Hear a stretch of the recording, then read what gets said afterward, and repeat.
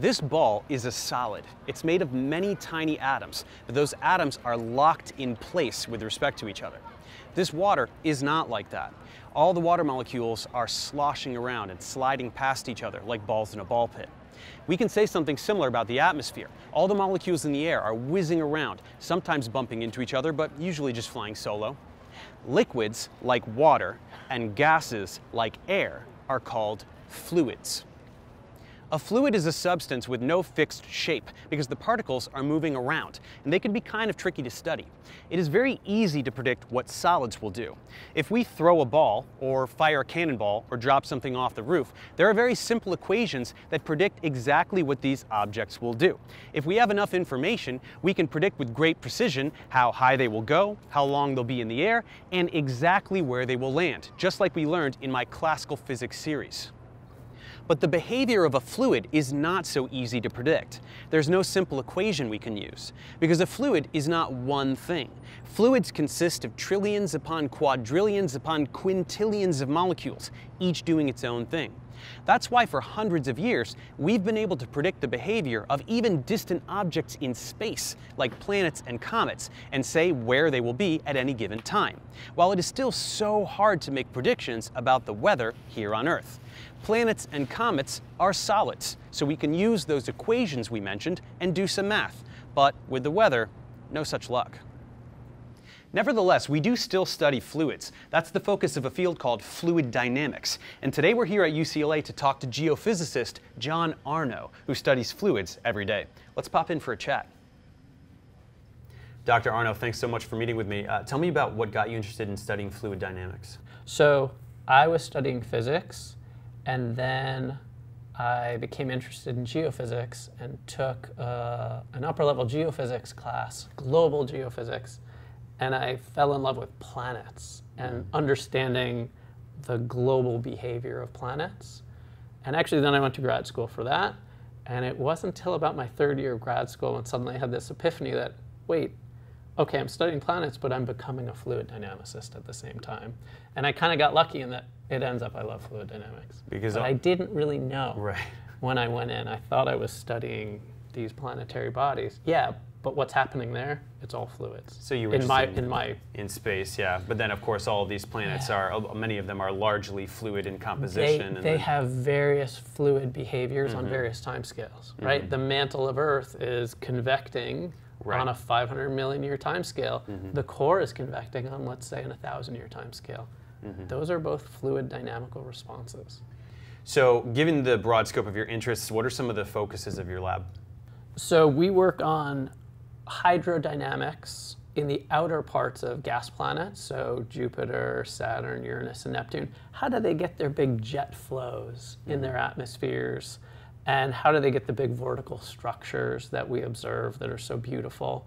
Um, in addition, we spend a great effort trying to understand how planets generate their magnetic fields, and that focus, a lot of it is actually on Earth. Mm-hmm. And Earth has this amazing, coherent, global scale magnetic field, and it's generated within the inner half of the planet, which is all essentially a huge iron ball about the size of Mars. Mm-hmm. And the outermost part of it is liquid metal, it's molten.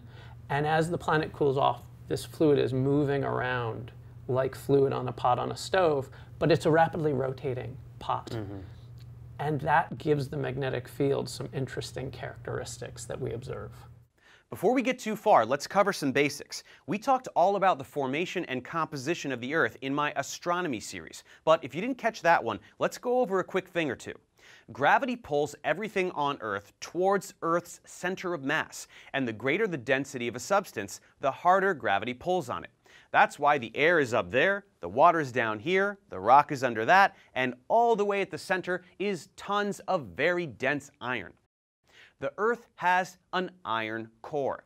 The inner core is crushed into a solid by gravity, but the outer core gets crushed a little less, so it remains a liquid due to the unimaginable heat. And like we said, liquids are fluids, so all that molten iron in the outer core is able to flow.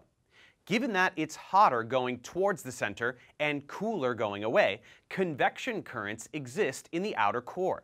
This is where the hotter iron at the bottom of this layer starts to rise, and as it rises, it cools, so it falls back down, where it heats up again and rises. And this cycle repeats, just like what happens with water and air up here where we live.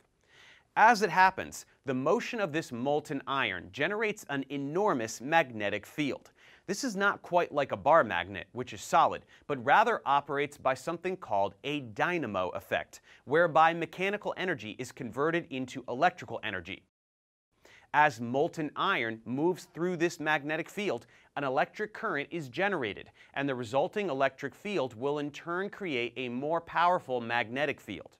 The full story is much more complicated, but that's the gist. And it is the case that we need constantly flowing molten iron for this to work. But one question becomes apparent. Why is the Earth's magnetic field aligned with its rotational axis? We know that the field lines emanate from the poles, which is why high energy charged particles from the Sun get deflected out to the poles, where they collide with atmospheric particles and generate the aurora borealis. But why do the magnetic field lines point this way and not some other way? Perhaps Dr. Aurnou can help us understand. Okay, so what are we going to do here? What we're going to do is do a very simplified set of experiments to understand how convection in a rapidly rotating system works. Earth's core is convecting. Mm-hmm. And it's rotating really fast. The rotational forces, the Coriolis forces, are huge. Mm-hmm. So we want to understand how does that change the system? And what we'll do is we'll do a comparison between two cases. One where we're doing an incredibly slowly rotating planet. That's our tank here on the left. Mm-hmm. So slowly that it's actually not rotating at all. Right. We can essentially, uh, it's negligible. Yeah. It's yeah. the end member case. Yeah.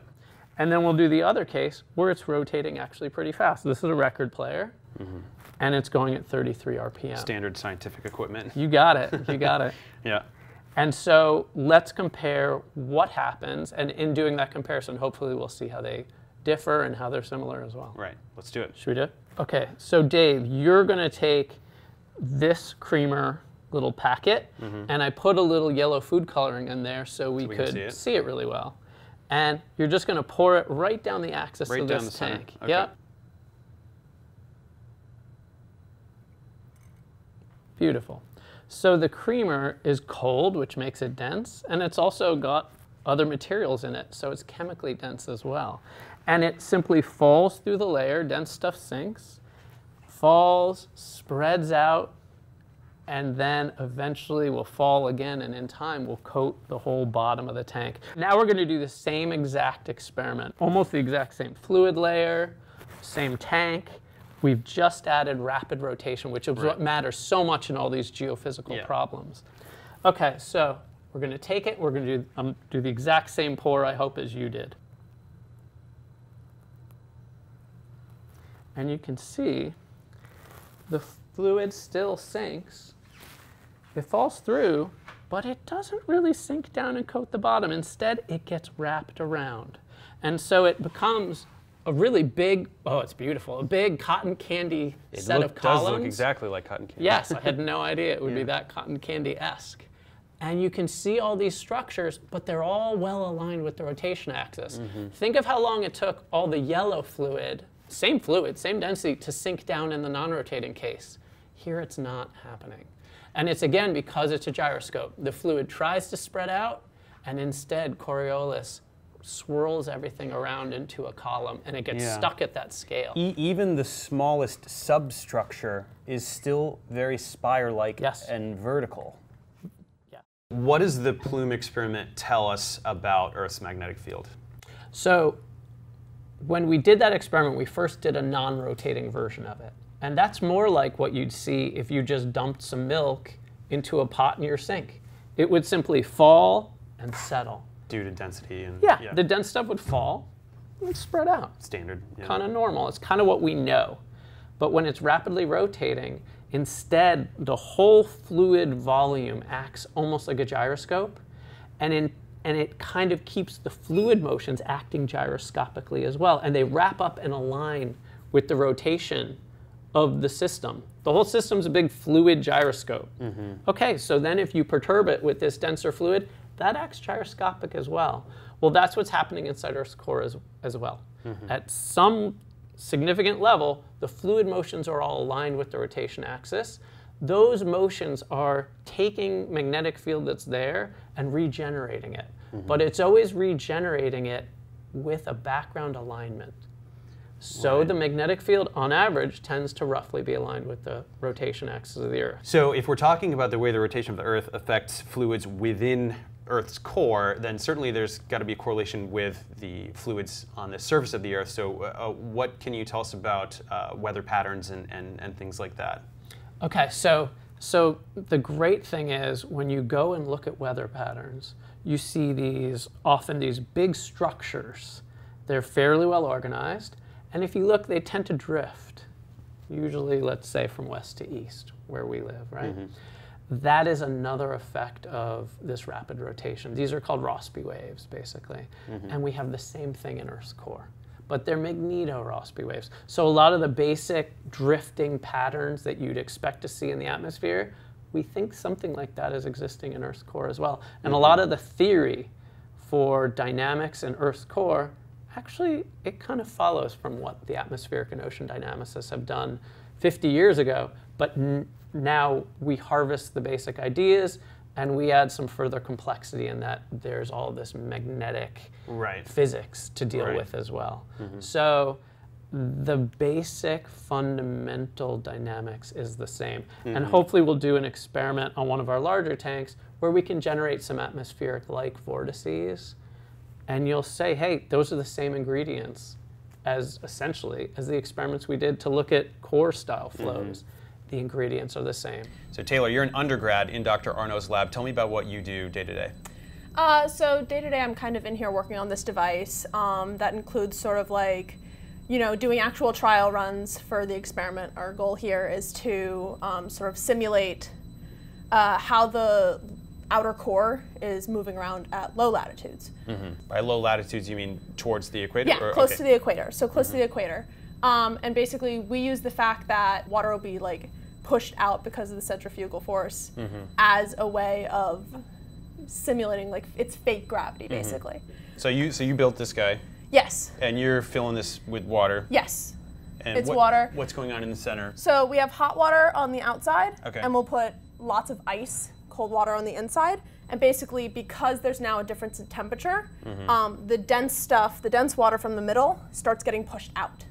We demoed with the thermographic camera that we're using, and you see so sharply the same types of structures that you see in the numeric model. Mm-hmm. Like they line up almost perfectly one to one. It's actually gorgeous. It's cool to think that in in someone like Dr. Aurnou's lab, there are so many different ways that you could be doing science. Oh, yeah, you could exactly. be building things, you could be running experiments, you can be analyzing data, and there are different roles that sort of cater to whatever someone is most interested No, in. probably, exactly. yeah. So, Joel, you're a graduate student in Dr. Aurnou's lab, and you use uh, this apparatus. Uh, can, do- can you tell me a bit about what this is?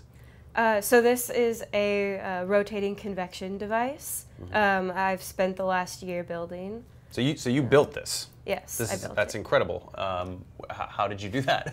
Uh, well, so when I got here, this this whole table was already here. Um, it rotates, um, and I built everything that's above this surface. Okay. So starting with um, our little convection cell. So convection means that we heat the bottom and we cool the top uh, to drive this convection where cold stuff sinks and hot stuff rises. Um, and uh, we have uh, what are called thermistors, and they are temperature sensors inside the blocks so that we can measure the exact temperatures across the layer. and making sure that the convection is happening. and- Yeah, make okay. sure that's happening. Um, and also, I mean, the whole point is to kind of study what happens to the fluid under different conditions. Um, those conditions being thermal conditions, so different temperatures. Uh, how how much of the differential there is temperature wise, or Yes. okay, and Um, maybe how fast it's spinning. how fast it's spinning. Okay. In between classes, I uh, will just tinker with the setup and try to get it perfectly the the flow fields. And then usually by the time I can make it back in here, things are ready to start running, Okay. um, start collecting data, start taking movies. So Yufan, you're a graduate student here in this lab as well, and you, you focus uh, mainly on this device? Yes. T- tell us about this. So this is called ROMAG, uh, which means uh, it has rotation and also magnet. So unlike the other devices in our lab, uh, this one actually has a, a capability of applying a vertical uniform mag- uh, mag- magnetic field. That, that's this thing Yeah, here. that's this Okay. thing. And also we can rotate the whole device um, azimuthally. Okay. Right. So you get this spinning, and then this whole thing comes down and it applies a magnetic field. Exactly. So uh, external magnetic field. Right. And uh, we are trying to understand like the basic dynamics of what's going on, uh, especially interactions with liquid metal, because uh, on this device we can we have we have Right. ability to use liquid metal, uh, which is very similar to the, uh, the fluid in the outer core. Right now, the study we're, that we're doing on this device is with the liquid gallium, which is a liquid metal can melt uh, in the room temperature. And what's cool about it is rotation, if you add rotation and magnetic field together, they are not compatible to each other.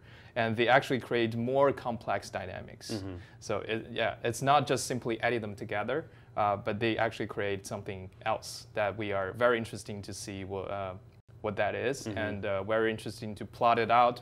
Uh, what's, uh, what's the regimes of different behaviors. So yeah, this is what this device is built for. So earlier you mentioned uh, becoming interested in the fluid dynamics of other planets, uh, other worlds in our solar system. So how, how do the models that we've been talking about apply to, to those systems? So, for instance, um, we were studying turbulence in a rapidly rotating system, and we bought the biggest, uh, effectively trash can we could. It was a big industrial polyethylene cylinder, you know, just cylindrical can, and we spun it with about 500 liters of water at about 75 RPM. We couldn't do this in my lab. I did this with my colleagues in Marseille, and out popped Jovian style jets. So these are the, the, the layers of gas, sort of the bands of gas that we see on the we surface of the planet. Yeah, and those banded, it's interesting. Because they sort know, of run at, at varying velocities, sort of. So on, on Jupiter, you have these back and forth jets. Mm-hmm. They vary with latitude and their direction. And it looks like they're all existing in the cloud layer, but there's now recent data from the NASA Juno mission that's been interpreted such that the jets go down a couple thousand kilometers deep into the interior. Okay. So now it's these big interior, really very large structures. Mm-hmm. And we showed you can have those in the lab. So are, And- are you getting clues about what is responsible mechanistically? Great question. So what we did first was show you even could make a jet like that exist Exactly, in the lab. right.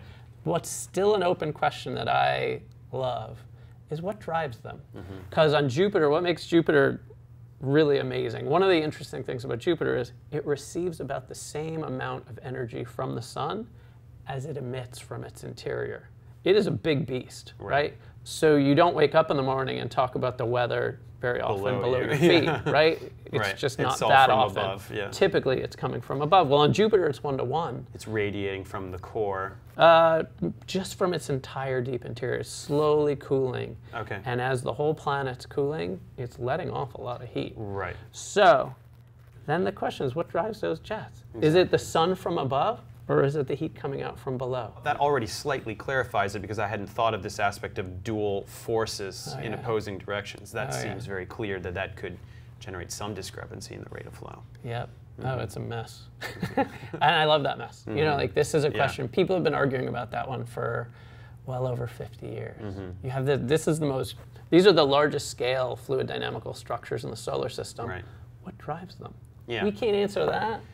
Well, That's and, a good one. And to model it with a garbage can, Uh, you know. I love that one. I think the most fascinating aspect is that we can do studies that are relatively simple in their setup that Yes. can shed light on su- such an incredible astronomical phenomenon right. easily. Yeah. Right. What do you have in your midst right now that has sort of got you the most excited?